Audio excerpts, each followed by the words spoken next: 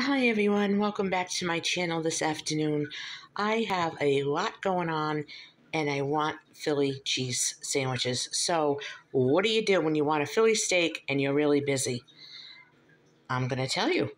Um, in my crock pot, my small one, I have some shaved steak.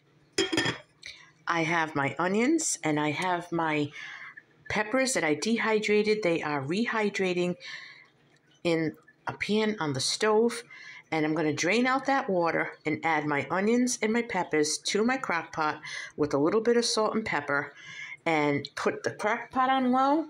And then just before I serve, I'm going to shut the crock pot off, put my cheese on top, and I've got some nice rolls here for sandwiches.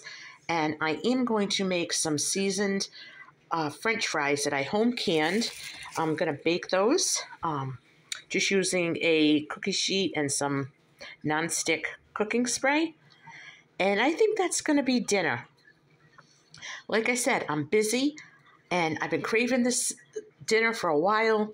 I think we're really going to enjoy it. And uh, it's better than paying 20 bucks for the sandwich. I almost called out for a sandwich the other day, and then it crossed my mind again yesterday, and I said, no, I just can't. I cannot justify $20 for a sandwich.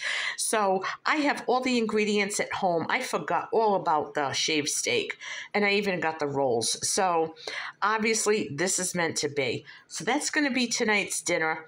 I'll probably um, make a small tossed salad on the side and just have a laid back, evening at home. It's going to be relaxing and fun and delicious.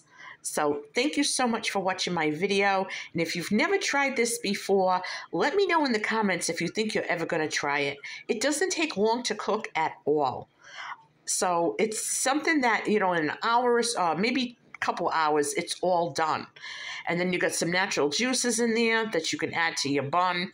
It's just a real good sandwich. Trust me, you're going to love it. So this is Sandy, and I'm saying thank you so much for watching, and I hope that I catch you on my next video.